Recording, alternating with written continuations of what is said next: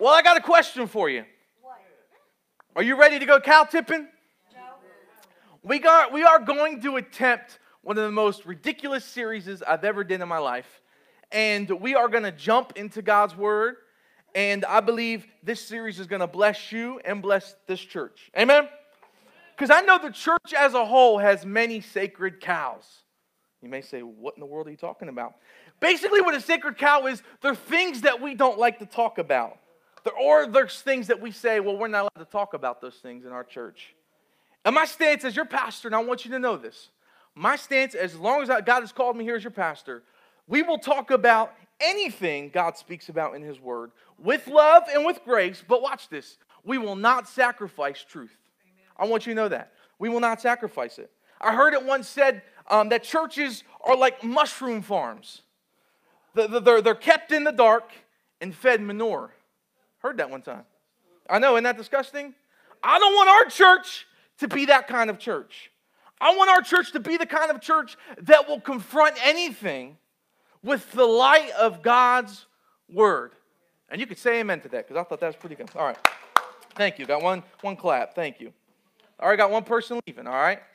Well, look at that. I didn't even get into the good stuff yet, man. Already walking out. All right. Lord, bless him. All right. All right. so, we will have the opportunity over the next several weeks. Now, this series is planned to go four weeks. It may go longer. Um, we'll see what the Lord wants to do. I kind of have this series laid out in the next four weeks. Um, but I want to prepare um, you that, that join this series. And I shared this on Facebook Live. I have some cow jokes prepared. Um, and, and, and, and listen to me, they may not be very funny. I'm going to include them throughout the service, but they are meant to, to uh, produce some, um, some comedy and maybe the sense of a tense subject or maybe even a tense thing we're talking about. You know what I'm saying? Maybe, okay, you don't get it. All right. And here's what I'm saying, all right? I'll, I'll kind of show you what I'm saying. Today, here's our topics. Are you ready? We're going cow tipping. Here's our topics. Here's what we're going to talk about. We're going to talk about divorce, abortion, sexual orientation, shacking up, friends with benefits, and in short, sexual sin. Saying all of that, let's move right along. You called on? All right. you called right along. All right. So here's what I want to do this morning. We're going to open up God's Word. We're going to read the whole chapter of 1 Corinthians 5. This intense chapter, intense subject, but we're going to dive in this morning. Is that cool? So to do this, would you stand? And I, want, I don't do this a lot, but would you stand for the reading of God's word this morning? Come on. God's word is holy, and this seems out of place. You're like, oh, I got to stand. I stand the whole time. And I ain't necessarily the best in shape. So if I can do it, you can do it, all right? And we're to dive in this morning to 1 Corinthians chapter 5. We're to read the whole stinking chapter. Is that cool? All right, here's, here's, where, here's, we, here's where we go. It is actually reported that there is sexual immorality among you of a kind that even the pagans do not tolerate. And watch this. This is Paul writing to the, the church at Corinth. A man is sleeping with his father's wife. Someone say, oh. And you're proud of it. So Paul's kind of getting in their business. Shouldn't you rather have gone into mourning and have put out of your fellowship the man who has been doing this? For my part, even though I'm not physically present, I am with you in what? In spirit as one who is present with you in this way. I have already passed judgment in the name of our Lord Jesus on him who has been doing this. So when you are assembled and I am with you in spirit, and the power of our Lord Jesus is present, hand this man over to Satan for the destruction of his flesh, so that, someone say, so that, so that his spirit may be saved on the day of judgment. Thought about putting this into practice. After, after service, we'll have a, have a handing over to Satan thing. For, I'm just kidding. Oh, that was. All right, uh, we'll see. Your boasting is not good. Don't you know that a little yeast leavens the whole batch of dough? Get rid of the old yeast, someone say old, so that you may be new, unleavened batch, as you really are. Someone say, as I really am. As I really am. For Christ, our Passover lamb, has been sacrificed. Therefore, let us keep with the festival, not with old bread, leavened with malice and wickedness but with unleavened bread of sincerity and what? What's that word? Truth. I wrote to you in my letter not to associate with sexual and immoral people. Watch, watch what Paul says now. Not at all meaning the people of this world who are immoral or greedy or swindlers or idolaters. In that case, you would have to leave this world. But now I'm writing to you. Someone say it's for me. That you must not associate with anyone who claims to be a brother or sister, but is sexual, immoral, or greedy, or an idolater, or a standard, or sorry, slanderer, or a drunkard, or a swindler. Do not even eat with that's just some harsh stuff, man. Do not even eat with such a person. What business is it of mine to judge those outside the church? Are you not to judge those inside the church? God will judge those outside. And look, what, look how he ends this. Expel the wicked person from among you. Come on, let's pray. God, I pray right now, over the next couple moments we have together. God, I pray this. I pray you would stand in my body and speak through my mouth. God, I pray this would not be Jared's words or people would not hear, just hear my voice. God, they would hear what you have to say. God, we live in days where compromise is so simple and so easy. God, and when we give a little foothold, sometimes we allow our life to go to a place we never thought it would go. So I pray this morning, oh God, may your word speak clearly and let people understand things in all of our lives, mine included, that needs to be changed. God, we love you. And all God's people say, Amen. Amen. Come on, we turn to someone before you seat and say, Are you ready to go cow tipping? You can grab a seat.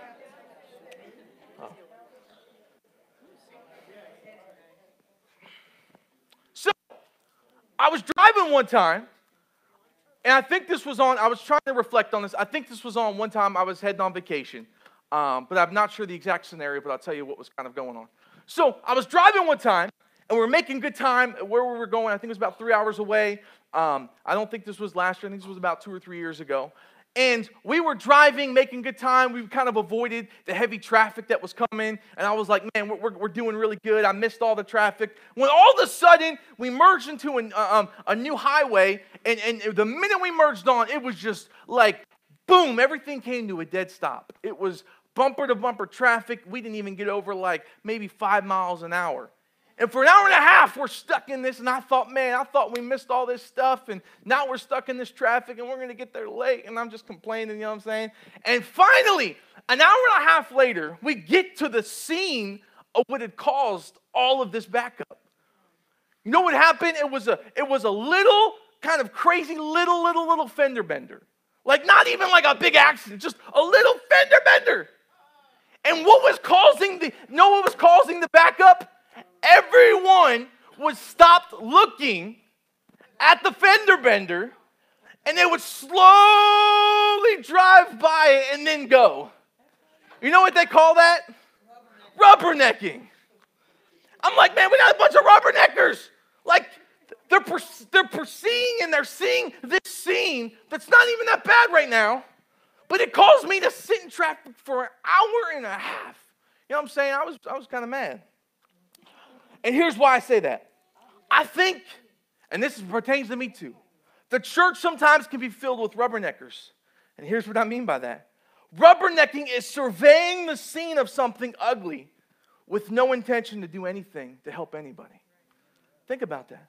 The church, that's, that can be us sometimes. I think in pulpits all across America, for too long, the body of Christ has been stopped in our progress of where God wants to take us because we're surveying the scenes of something ugly, but we have no intention to help someone, to pull someone out of the, the thing they're in. And I, I say that because I want that to be your thought today as we dive into this passage, because this is a very interesting passage, is it not? Did you know this stuff's in the Bible? Isn't it crazy? When you read the Bible, you read some wild stuff. You're like, whoa, this is in the Bible. And I think there's a larger point that Paul, who was the author of the book of Corinthians, he was writing to the Corinthian church.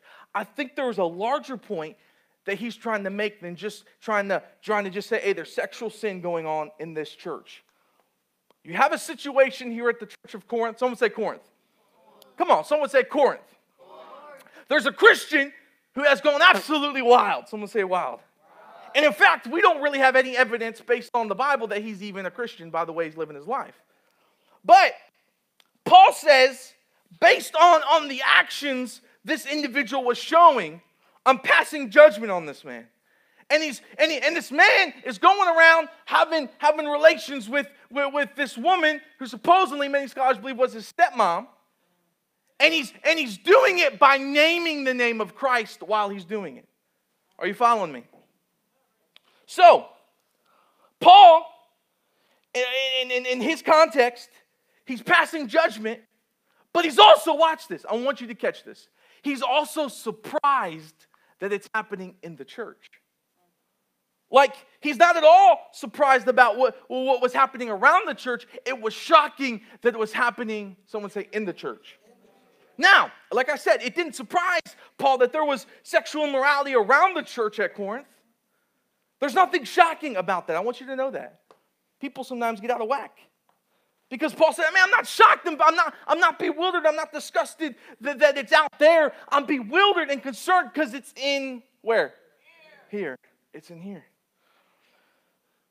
See, the church, I got a lot of notes. That's why I'm looking down a lot, because I really, like I said, this has been months of prepping, and I wrote a lot of stuff down. I had over 60 pages of notes. So I, I added 61, so we'll be here for two hours. Just kidding. Lunch provided. Um, no lunch provided.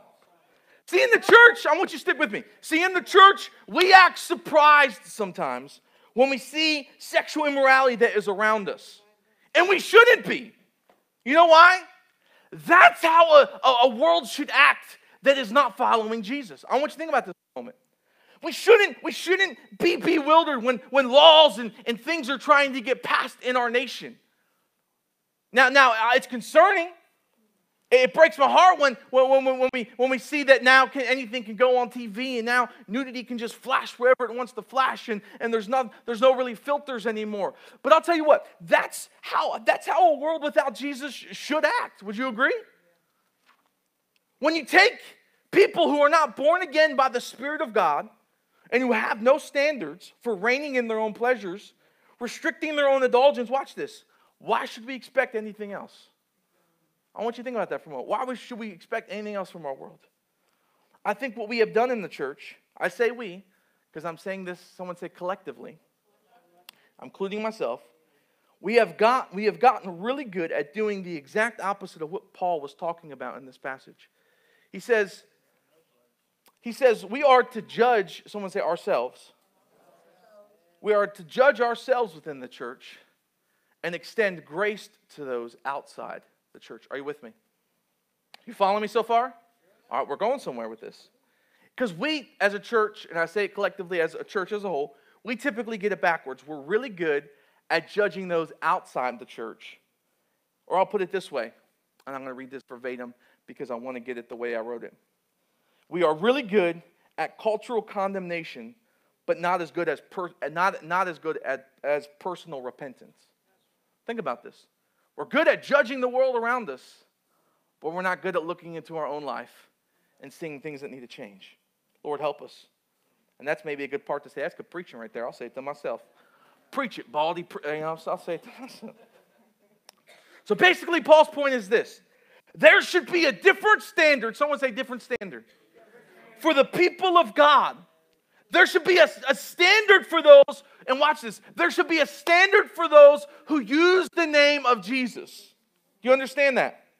There should be a different standard of those whose claim to be forgiven by the grace of God. Are you following me?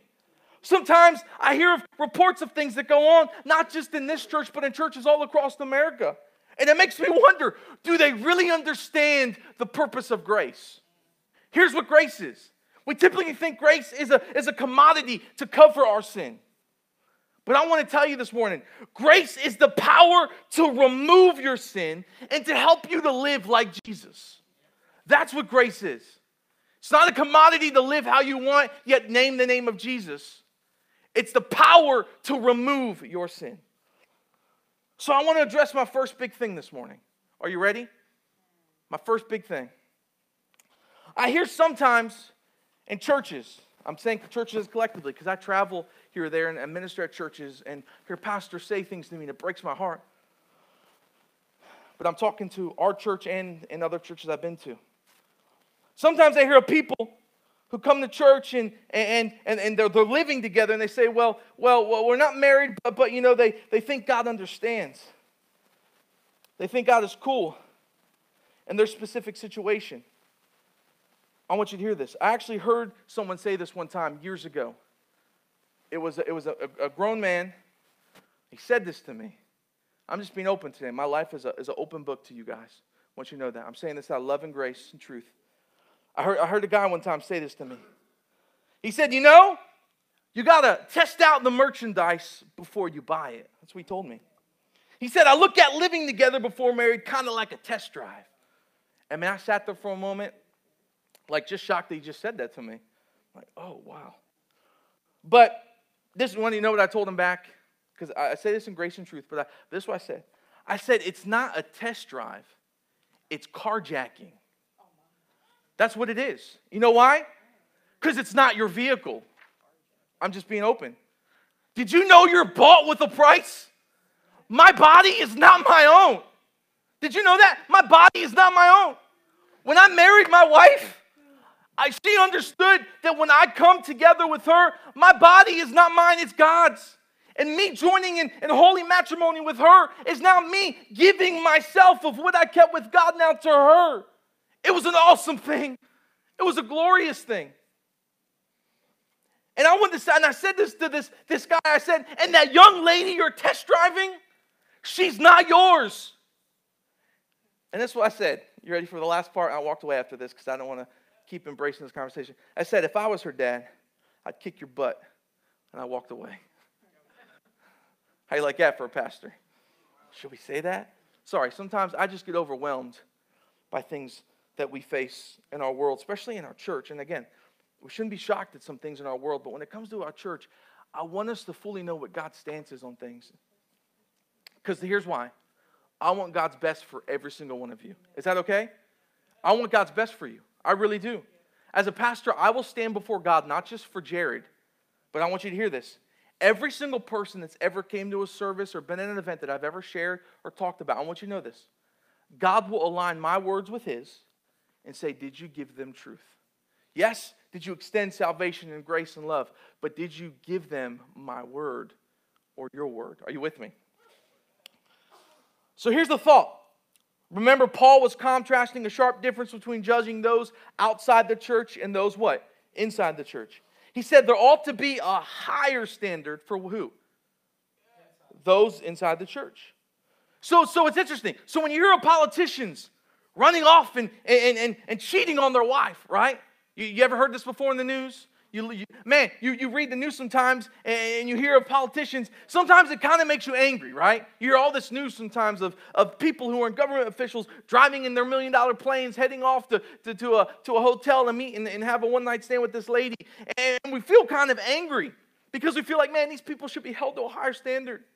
But Paul said this those who name the name of Jesus Christ ought to be held to a higher standard. And he's so passionate about what he's saying. I don't know if you read this the way I read it. He calls out this member of the church of Corinth who's involved in this incest relationship with his stepmom. That's what most scholars believe. That this, this guy was involved with relations with his stepmom. And Paul says this has gotten so bad at this church. I'm talking about the church of Corinth. It's gotten so bad that even the world looks at that church and they scratch their head. And they, they, they, they, look at, they look at their lives and, and they say, I want you to think about this for a moment. Do people look at our lives and say this? They look at their lives and they say, if this is the Jesus you preach about, and he cannot enable you to live the life you claim to believe and his standards, then why should I put my faith and trust in him for my eternity? So let me take a, well, let me take a look at your life and my life today. Because we love to talk about church discipline and look at other people in bad situations. And I want you to understand, I've been involved in church discipline. I'm only 20 years old.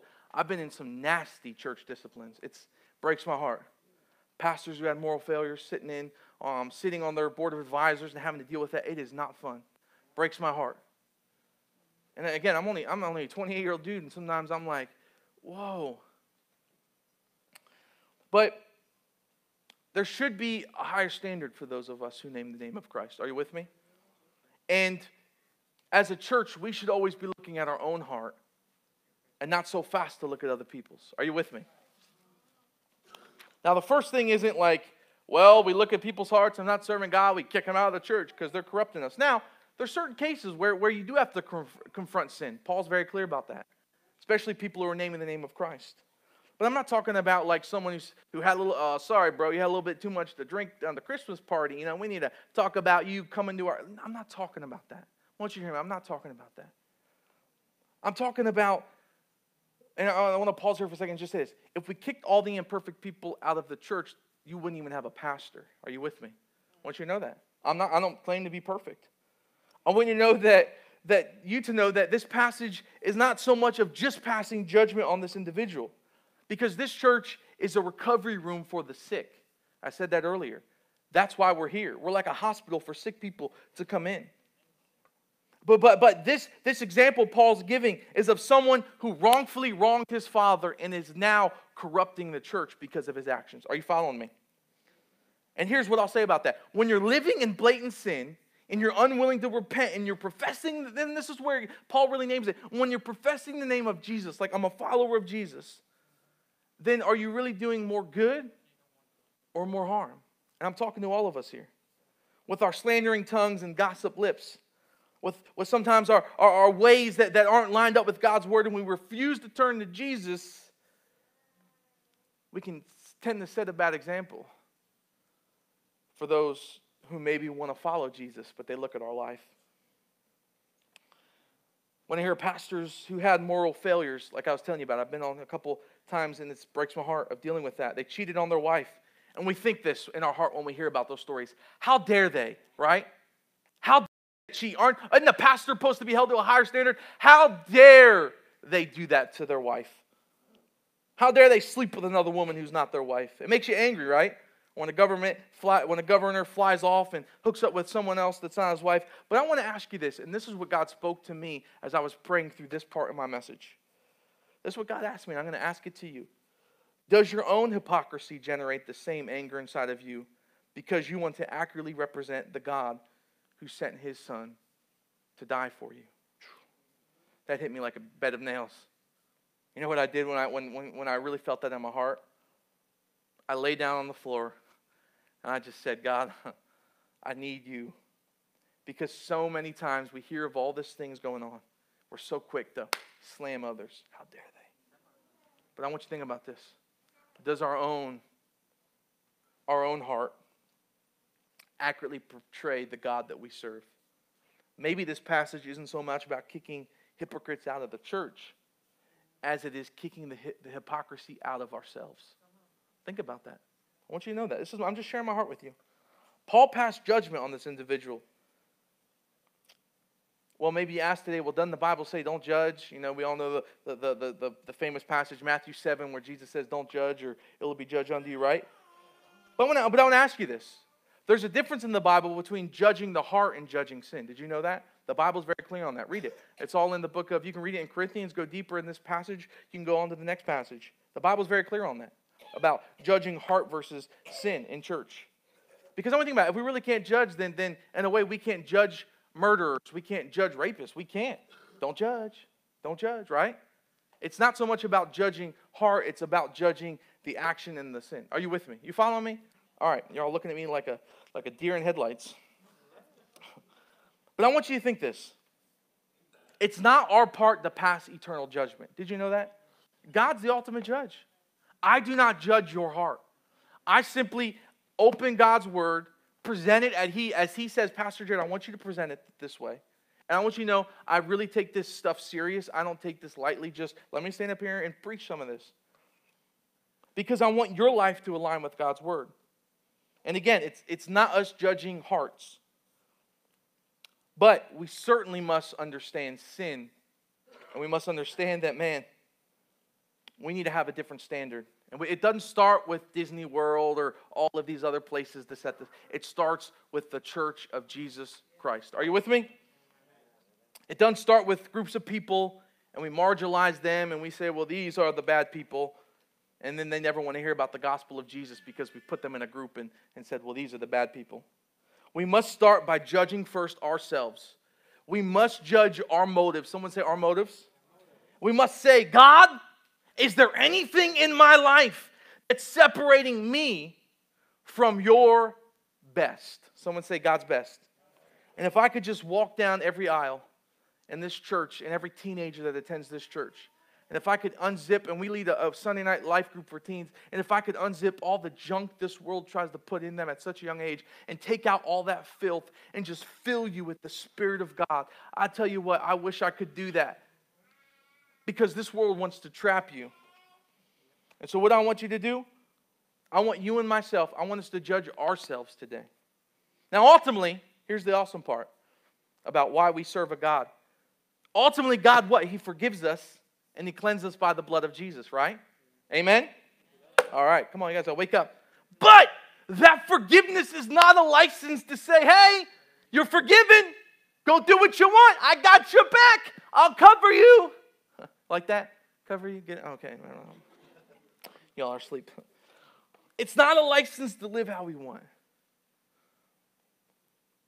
It's not a license to let someone who isn't married to you put their hands on your body. I want you, I want you to hear my heart on this.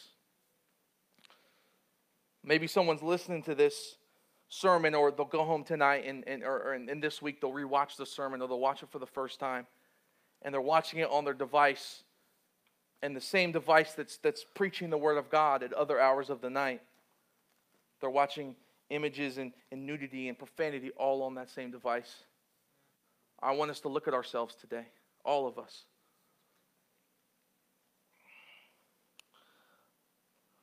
See, Paul passed judgment on this man. And probably if, if, if, if someone's caught in a typical sexual sin, some, a lot of times this is what, what I'll hear. Yeah, but you don't know me, Pastor Jared. You don't know my situation. To which I would say this I don't have to. We don't judge people based on particular situations. We judge based upon, here's my word. Sorry about that. We judge on principles. Are you with me? We judge on principles. And the principles in God's word is what we call immutable. Someone say immutable. That's a big word. Basically, meaning you can't argue with God's word. Now, people do, and they make exceptions and they make things, well, I'm different. Well, sorry, Bubba. It's God's word. Sorry, sister, I love you. It's God's word. You with me? And we're not the exception. I'm not the exception to God's word. Are you with me? And I pray if ever anything I do or say would, would come against God's word, someone would have the guts to call me out. Are you with me? I ask that of you. Because as much as I preach, I should be held in living to the same standard at which you guys do. Are you with me? There's no exception. There's no exception. So, in saying that, you, you still awake? I want to take uh, just a few minutes. I want to make this very practical. Very practical. I sent my notes to my dad, to other um, other pastors I'm great friends with, because I wanted this to not be Jared's opinions. I wanted this to be God's word. Okay, so I'm to make this practical because I pre I hate to preach this whole message and think, well, this is for Jimmy or Joey or or Salty. And I don't. I'm just making up all these names. These are random names that come to me, right? This is for Bubba that sits in the back, right, and comes in a little tipsy, right? These are for all those people, not for me. I hate to go the whole service and not make this so practical that we can't test and observe our hearts. Are you with me? All right, so I want to take you just through some, some tough things because I figured there's no point in me to shrink back from talking about anything that's in God's Word. There's questions continually asked at this church, and they'll ask me something like this What's the church's stance on blank? So I want to go ahead and maybe answer some of them for us. Is that cool? Now, again, I align them with God's Word, and I say it in grace and love. Is that cool? All right, so let's jump in because I'm going to milk this thing for all it's worth. All right. Thank you, Miss Lori. All right. All right. Number one. What does the church believe about abortion? What does the church believe? We believe God forgives all people. And if you had an abortion, guess what? Jesus is not done with your life. He is not done with you. God forgives you and He loves you. But abortion, ultimately, in God's word, is wrong. And ultimately, the Bible talks of it as a sin. You can look it up, and I can give you passages. But again, I'm not trying to quote God, sorry, not trying to quote Jared's word. I'm trying to give you God's word as it is. This isn't my opinion. And this is, this is what I wrote. I heard a pastor say this one time to me when I told him I was sharing this. He said this For the right, for the right for unborn life is greater than a woman's right to choose. Always. Don't you believe in a woman's right to choose? Yeah, I do. I really do. But I also believe in the women that we're aborting and their right to choose as well. I really do. Now, again, I'm not saying this as my opinion. I'm saying this as God's word. I want you to know this. I, I, I have walked with women who have had multiple abortions. I've been by their side at night when they would be wanting to kill themselves because of the fear and anxiety and depression that has haunted them. It is not fun. And if I could take you to those places, which I never would want to because it is horrifying. But as your pastor, I want to give you all of God's word. Now, you may have had multiple abortions. You may know of someone. I want you to know this I'm a sinner. And I, I can't even imagine how my own words and actions have hurt people. I want you to know that. I can't even imagine sometimes some things that come out of my mouth that might have landed in someone's ears and hurt them. I can't imagine how my actions have done that. I need the grace of God just like everyone else. Are you with me? But this is a cow that the church just kind of likes to avoid and takes a step back from and doesn't like to talk about. And I want to embrace these tough things because we live in a world where we need to embrace these things and love. You with me? So I want to say this because as I was preparing this, some of those young ladies that I've walked with, some of them didn't even break their 20s before they had multiple ones. Yeah, this is real stuff. I want to tell you this. If you're hearing you had multiple abortions, some of those young ladies are actually going to watch this sermon um, after it comes out. I told them, and they're excited to watch it because they've experienced God's healing grace and they're walking in freedom like I've never seen them walk. There's a smile on their face that I'll tell you what, I could never give them. Only the grace of God could. But I want, I want, I want to tell you this because if you know someone who's maybe had one or multiple ones, or maybe you know someone who's maybe thinking about one, here's what I would say God would have you trust in His sovereignty. And if you are here today and you have made that mistake or maybe thinking about it, would you turn to Jesus and trust in His forgiveness. You with me? I want you to know that. Again, I've seen the power of God at work. I've walked hand in hand. And I don't say this thing out of, out of just blowing steam off my head. I've been there, I've seen it. Walked with women, and, and Lord, I've seen the freedom that comes that God can bring you. He's not done with you. Maybe He's just getting started with you. Amen? All right, here's another one. You ready? You with me? All right, I told you we're going to embrace some tough things. What does the church believe about homosexuality? We, well, glad you asked. We believe marriage is between one man and one woman. Anything outside of sex before marriage is considered a sin. Now, I want you to get what I'm saying here. I'm talking about both someone who's sleeping with someone of the opposite sex just as much as I'm talking with someone who's sleeping with someone of the same sex. It's a sin. Here's the here's the here's God's drawing line. You sleep with your husband wife. You sleep with your wife, brother. And that's the standard. And I love how God's word, can I tell you this, brings freedom and joy. Can I tell you a story? Is that cool? A little tense? Cut the air. All right. And here, I say this in love. I was preaching one night in my youth group. A young lady walks in the back, looked like a man, but she walked in the back. I actually called her sir, and she looked at me, and, and I said, sorry, sorry. She ended up becoming a regular tender at our youth group, would come every single Wednesday night, sit in the back. And I felt intimidated because I'm like, man, this is tough, man. I knew she was going through some stuff. Finally, months after she was coming, she came down, and she said, I want you to know I'm a lesbian. She said, that's who I am. I said, okay. She said, well, you're not going to slap me? I said, no. She said, you're not going to kick me out? I said, no. I said, did you, have you given your life to Jesus? No. Did you not hear what I just said? I said, Well, all right. I said, You keep coming. She just kind of looked at me kind of funny. This thing kind of cracking. There we go. She kind of looked at me kind of funny. She came for months. Finally, one Wednesday night, it was a cold Wednesday night, she came, and a woman came with her. It was her wife. She'd been married. She was married to her. They came that night. They sat in the back. I preached, it wasn't even about anything like that. I preached God's word. I just said, I know there's some people here that need to respond to God's word. I said, you need to come forward and respond. And with saying that, we dimmed the lights. The worship team came up. And she and that woman came forward, tears flooding their eyes. And, and I grabbed her and I gave her this hug and I said, What is going on? And she said, I cannot explain it. But she said, I feel a love that I've never felt before and I've never gotten.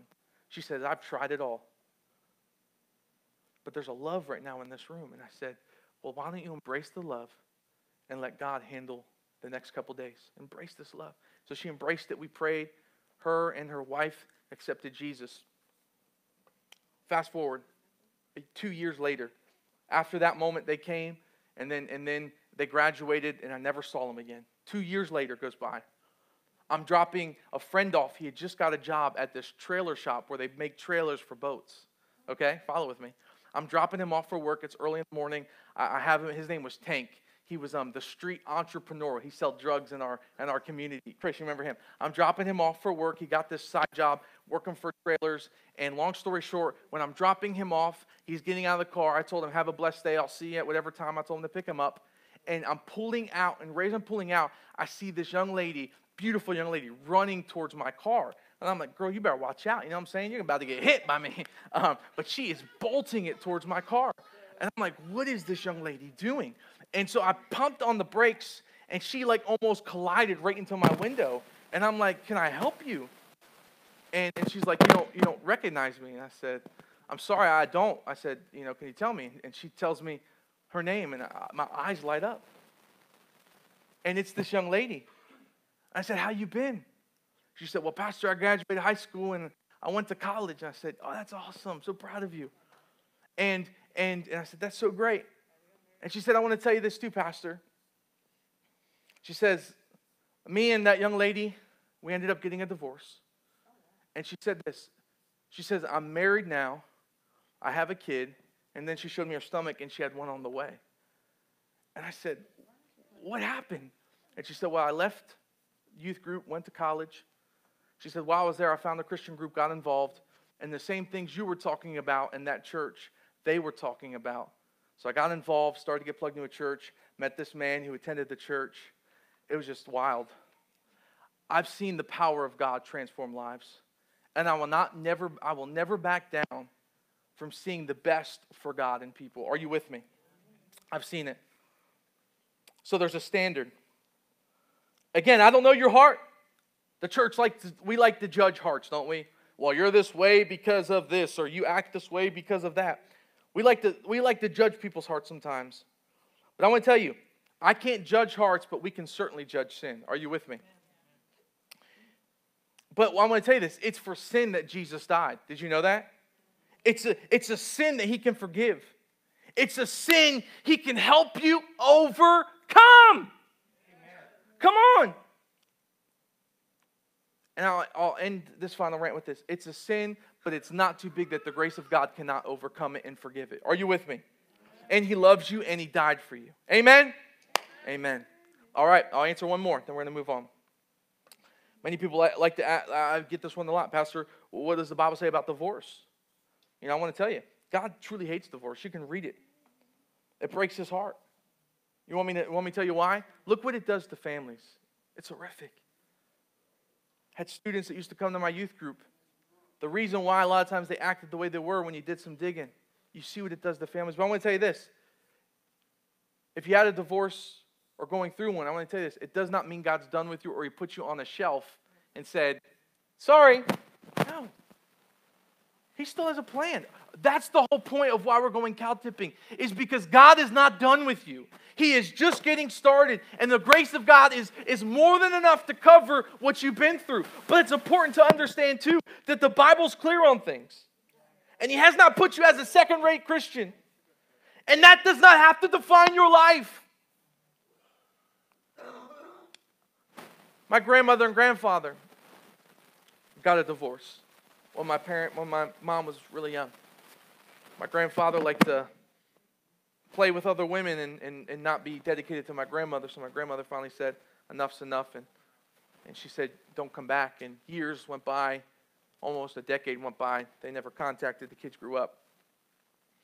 And it affected my family in a very hard way. I seen my uncles grieve over what had happened and, and take it out in, in rational ways. Christmas would come, and eventually, when they were trying to start restoration with my grandfather, he would show up. And my one uncle was a pretty hefty dude, strong dude, and he said, "If you cross the door, I'll kill you." I've seen it. I've seen it how it affects a family's life personally, but I've also seen it how it transforms lives. Because on my grandfather's deathbed, guess who was the one taking care of him when he couldn't even get up off the chair to use the bathroom? My grandmother. I've seen God transform lives and restore it. I've seen it done. And again, God's not done with you. It breaks his heart, but he's not done because he loves you and he has the best in store. It's like, for instance, when I was young, we were at my grandmother's house, and I picked up this dog that had run away from the neighbor's yard. I picked it up and I said, Dad, you cannot let down a dog that loves you. And he looked at me, and the words hit him. The next week, we went and we asked the owner because the dog had had a whole bunch of puppies. My dad said, Hey, could, could my son have that dog? And the guy finally said, Yeah, why not? Because he had dozens of them running around. So I got, I got my first dog. We named him Shiloh after the movie Shiloh. It was like this awesome thing. He was a little like mixed everything. I don't even know what he was, but he was awesome and, and I was little, so we kept him inside. And during the day, I'd go outside and we'd run around the yard. Well, one day, I came home to my surprise after school. My dad was putting up this fence. I said, Dad, what are you doing? He said, I'm putting a fence up for Shiloh and for you. I said, Dad, we run around this yard. You're going to destroy my future with this dog. You're putting a fence up. You're limiting where I can go. And I, I, I cried, literally, I did. I, I brought the dog out and said, Shiloh's crying. And my dad's like still nailing the pegs into the ground. Like, I don't care. And finally, after a day, my dad came in into my room and, and the dog's there, I'm there, and I'm just in, you know, Dad, you cannot put this fence up, man. It's killing me. It this means Shiloh, we run the yard. And, and my dad said, Buddy, I want you to understand this. I remember this. Buddy, I want you to understand this. This fence is not for you and Shiloh to never have fun again. This fence is because there's sometimes where mom can't always keep an eye on you in Shiloh. And you run around this yard, and, and Shiloh's going to get big Shiloh. And big Shiloh's going to get curious Shiloh. Curious Shiloh's going to want to run and be free, not always next to you, but maybe next to the next door cat. and so this fence is to help you and Shiloh be free and to keep running harder and faster. And I finally understood it. When Shiloh got bigger, Big Shiloh needed leash. You with me? And I want you to understand this morning the reason why I say that. God's parameters and his, his, his fences sometimes we feel in our life, they're not there as restrictions. They're not there to box you in and feel you tight and closed in. Man, these God's God's level for my life, man, it's gonna cramp my style, it's gonna fence me in. It's gonna ruin my life, maybe you say. But I want to tell you this the fence brings freedom. It does. God puts those posts and those marks up, those commandments, those instructions in His life and in, in, in His word for our life to keep the bad stuff out of our life and to keep away anything that would squash us. The fence brings, someone say, freedom. God wants you to enjoy His best. And this is another cow joke. He has green pastures for you. You like that? It's true. He does. Read about it. Psalms 23. There's a saying that I used to hear growing up. Man, he was looking at that thing like a cow at a new gate. You ever heard that? Maybe not because y'all city folk, right? I'm city folk too, but I heard that before. And sometimes some of us, we look at God's standards and instructions for our life like a cow looking at a new gate. We look at his commandments and we're just kind of staring at them like a cow would at a brand new gate. Man, I can't even imagine reorienting my life. You're saying it's wrong for me to look at pornography? Heard this one time, man, I'm single. You're married. You can get it anytime you want. All the married men attest that's not true. Okay, only just me. All right. I'm not trying to be gross. I'm not. Listen, I'm not trying to be gross. I'm trying I'm trying to be practical and helpful. Because we try to stand in our circumstance and say, well, you're not where I am. And I want you to know just because being here doesn't make it all fun and games. I want you to know that. Heard that one time from a single guy. I did. I tell you, sometimes what comes in my mouth, that surprises me. Again, I try to watch it. But I want you to think. Some of us look at God's parameters and standards like a cow looking at a new gate. Like I said, I'm not trying to be gross. You have, you have no idea. My wife could probably attest to this a little bit. The amount of stress I was under this week preparing for today. Amount of, amount of anxiety that I never have anxiety. I never do. Man, good Lord, I couldn't even barely sleep some nights because I'm like, God, are you sure this is what you want? Like, God, like even yesterday, we got home and I'm downstairs in, our, in, in the study. And I'm like, God, you could change this. We could preach something else. And literally, that's, I told him that. I said, I'm listening. I, I was down on the floor with worship music on with my head. I'm like, I'm going to get a new sermon tonight. I'm going to, it's going to be on. And I'm like, no, God. Woke up this morning, walking the track with my dog. One more chance, God. But God said, no. You need to give people my word to its full. And I speak in a culture, and we live in a culture like Paul was speaking to Corinth. And he was specifically calling out the sin. There are sins in our culture that people don't like to admit that are sins. I just want God's word to be our lens that we view things by at our church. Is that all right? All right. And here's what I want to say, and I'm bringing this plane and landing. When you're naming the name of Christ, but you're pushing every boundary you can, I want to tell you, you need to judge yourself so God won't have to. When you're flirting with a woman who is not your wife, when you're away from her, I want to tell you, sir, you're wrong. I'm going to tell you. I'm just trying to be practical. Ephesians 5 3. I got this one, CJ. You got me? You're the man. Thank you, buddy. But among you there must be not even a hint of sexual immorality or of any kind of impurity or of greed because there are these are improper for what? God's holy people. Did you know that's who you are? That's how God sees you as what? As his holy people. Isn't that an awesome term?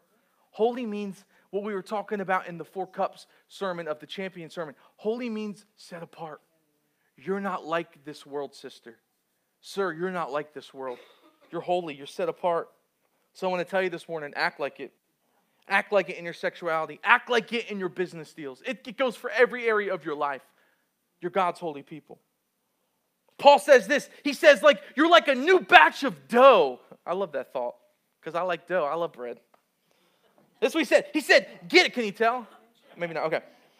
I love Texas Roadhouse. You know what I'm saying? We went there. Oh, Lord, have mercy. Okay, I'm done. All right. He said, he said, get out the old and in with the new. So I'm going to tell you this morning act like who you already are in Christ. Act like you already are in Christ. Oh, thank you, Allie.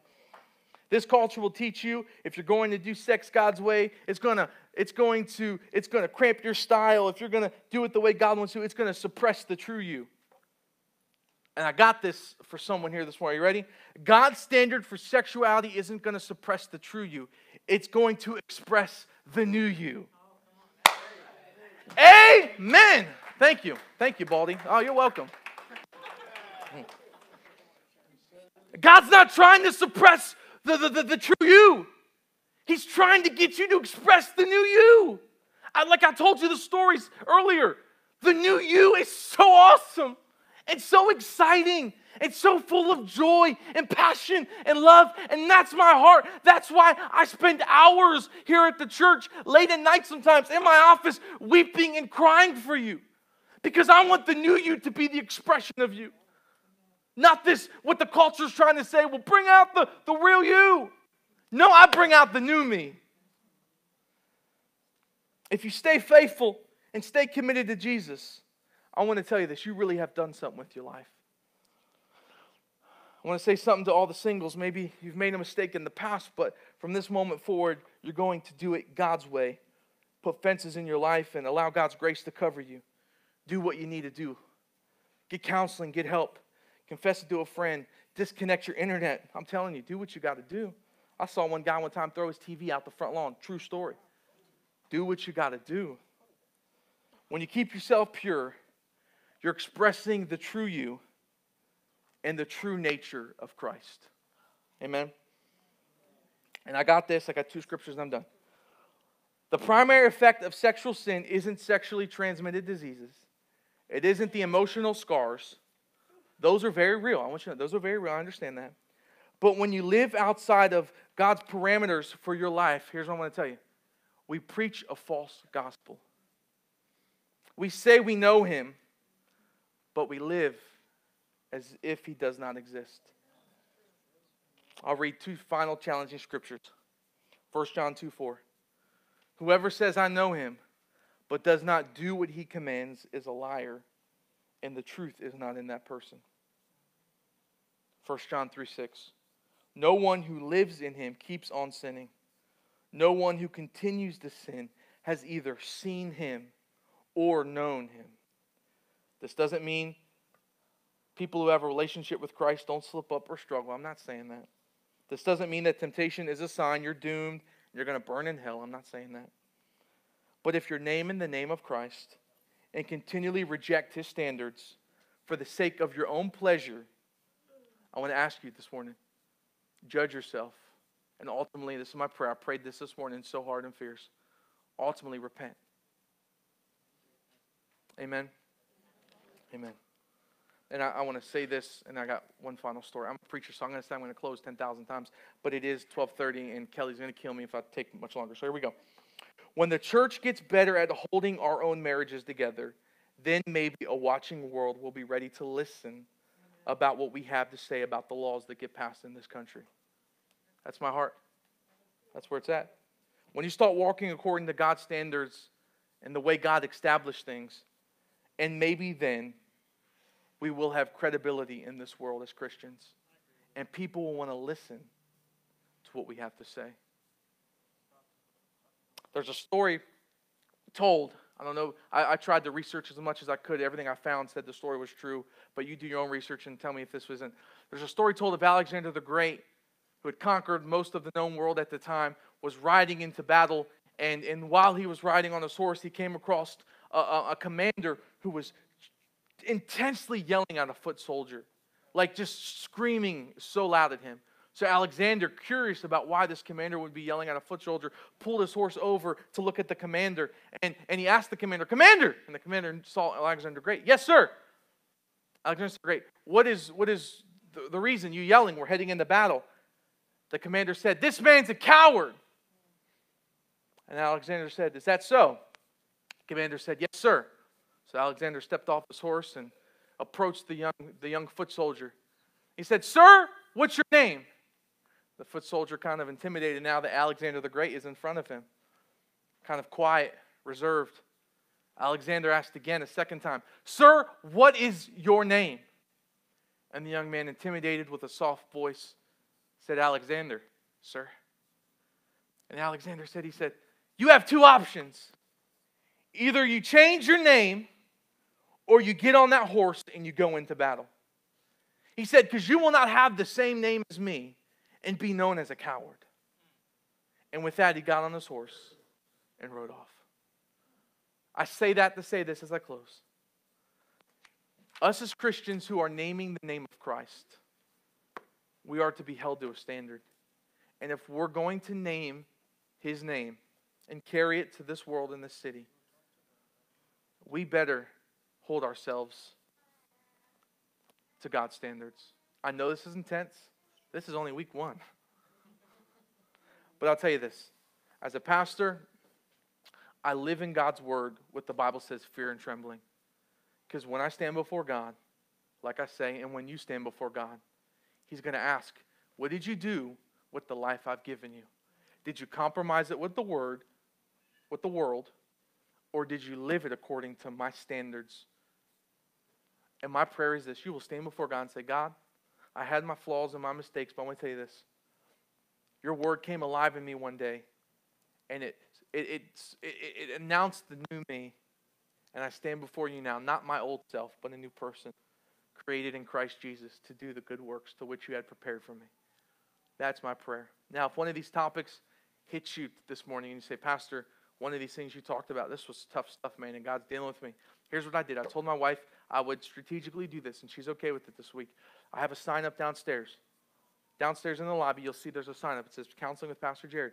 I have slots available. If you don't find a slot that works for you, you can put your name and number at the bottom, and I will call you this week. And here's what I want to do I want our church to not just confront tough to- topics, but be willing not just to be rubberneckers looking and surveying the scene, but to be willing to not just announce, hey, this is what's wrong, but to say, how are we going to walk now in which the word God's given us? Are you with me?